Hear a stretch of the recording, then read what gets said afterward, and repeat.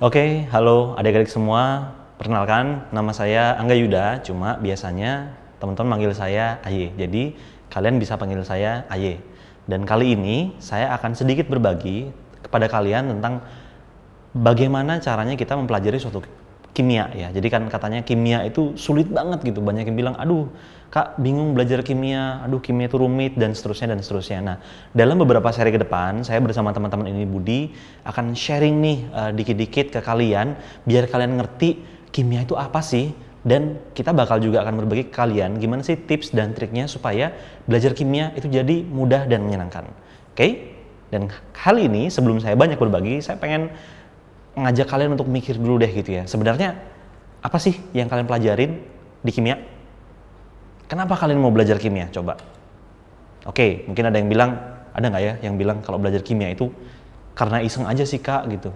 Ya fine lah, silahkan lah gitu ya. Tapi ada juga nih yang bilang kalau belajar kimia itu karena kita pengen lulus UN. Ya nggak salah juga. Tapi pada dasarnya kalau kalian belajar kimia sebenarnya yang kalian pelajari bukan kimianya. Tapi yang kalian pelajari adalah mindset. Dan mindset ini itu adalah hal yang penting banget di kimia karena kalau kalian nggak dapat mindsetnya di kimia belajar seperti apa, kalian bakal empot-empotan deh belajar kimia sampai kelas 3 nanti. Oke, dan omong tentang kenapa kita belajar kimia, kita juga pasti tentu bertanya-tanya dong, sebenarnya apa aja sih yang kita pelajari di kimia? Dan di kimia itu sederhana banget, kita hanya akan mempelajari tentang materi kita akan belajar tentang materi. Jadi materi itu ya segala sesuatu ya kayak yang kalian punya sekarang, yang kalian pegang sekarang. Misalnya ada spidol, ada penghapus, ada kertas, baju, atau mungkin rambut, bahkan kulit, mata dan seterusnya. Bahkan make up kalian itu semua adalah materi. Dan kimia itu kita mempelajari tentang materi. Dan materi ini kita juga akan pelajari di kimia bagaimana materi ini dia direkayasa sedemikian hingga dia bisa menjadi barang-barang yang memang sangat berguna untuk kehidupan kita. Contohnya misalnya kayak tinta, kebayang nggak sih kalau kalian hidup tanpa tinta, woi nulis harus pakai darah gitu kali ya kan?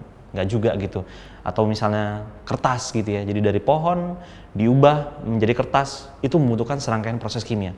Termasuk juga kayak air bahkan yang kalian minum setiap hari itulah sebuah proses kimia yang diciptakan uh, sedari awal bahwa air itu seperti ini loh begitu dan di kimia kita akan pelajari itu semua kita akan belajar tentang materinya bagaimana dia direkayasa untuk menjadi hal-hal yang memang berguna untuk kehidupan kita ke depannya Oke, udah bisa dipahami dong ya. Jadi intinya gampang deh kalau ditanya, emang kimia belajar apaan sih? Kimia belajar tentang materi. Nah, lebih detailnya, apa yang akan kita pelajari di materi itu? Kita akan mempelajari tiga hal di kimia. Kita mempelajari tentang yang pertama itu kita belajar tentang struktur. Jadi kan materi ini ceritanya dia tersusun dari atom-atom, molekul-molekul begitu ya. Dia memiliki sebuah struktur tertentu. Jadi ibaratnya kalau struktur itu kayak kalau di bangunan, kalian lihat kan ada tiangnya, ada plafonnya, terus kemudian ada lantainya, dikasih keramik dan seterusnya. Sama, di kimia kita juga belajar tentang struktur itu tadi.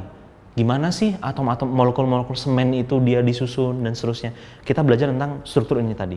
Nah, dari kita mempelajari struktur, jadi kan tahu struktur ini ya, kita juga pasti akan mempelajari tentang energetika. Kita belajar tentang energi yang kalian sudah pelajari sebelumnya ya. Jadi tidak ada segala sesuatu di dunia ini yang nggak berkaitan dengan energi. Termasuk juga materi, selalu berkaitan dengan energi. Jadi energi ini mungkin absurd kali ya, kali kalian juga nggak kebayang apaan sih energi gitu ya. Tapi energi ini sebenarnya dia uh, bisa jadi berupa ya kayak kalian tahu mungkin ada energi panas, listrik, terus kemudian ada energi gerak dan seterusnya. Di kimia kita juga akan mempelajari bagaimana kaitan antara struktur dengan energetika, ya.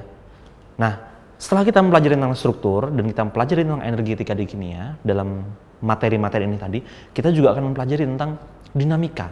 Jadi bagaimana suatu materi itu berubah menjadi materi yang berlainan. Contoh misalnya, kalian tahu uh, terkait dengan kayu, oke? Okay? Kayu itu kan dari tumbuhan ya, dan dia bisa berubah nggak jadi suatu hal yang lain? Bisa banget ya. Contohnya dari kayu dia berubah menjadi arang Nah, perubahan dari kayu menjadi arang itu melibatkan yang namanya proses dinamika kimia. Jadi materi, materinya itu kayu, dia dibakar, setelah dibakar dia kemudian menjadi arang. Dan kayu dan arang itu kan hal yang berbeda, senyawa yang berbeda. Dan itu yang disebut dengan dinamika. Jadi dinamika ini, ini intinya adalah bagaimana suatu uh, proses yang terjadi dari suatu materi berubah menjadi materi yang lain atau ketika materi ini diapa-apakan gitu ya. Misalnya apakah materinya dipanaskan atau materinya didinginkan. Ya contoh sederhana kayak kalau misalnya kalian punya air kalau air dipanaskan jadinya gimana? Meletup-letup ya jadi alias mendidih begitu. Atau ketika air didinginkan jadi apa? Jadi es. Dan itu kan perubahan dari satu materi satu bentuk ke bentuk yang lain. Nah dan di kimia, kita mempelajari tiga hal ini, kita mempelajari tiga hal ini di kimia secara sekaligus. Jadi kalian nggak mungkin mempelajari kimia tanpa kalian memahami masing-masing dari ini. Jadi kalian akan belajar nanti tentang strukturnya, bagaimana atom dan atom berikatan. Kalian juga belajar energi yang terlibat di dalamnya dan kalian belajar juga tentang dinamikanya seperti apa. Dan ketiga hal ini itu hal yang tidak bisa dilepaskan dalam kimia. Jadi mau nggak mau, suka nggak suka, kalau kalian memang pengen benar-benar ngerti tentang kimia, kalian harus pahami tiga hal ini. Oke? Okay? Dan ke depan kita akan membahas lebih lanjut bagaimana struktur, energetika, dinamika terhadap uh, topik-topik yang akan kita pelajari secara lebih spesifik lagi. Itu saja, let's check it out.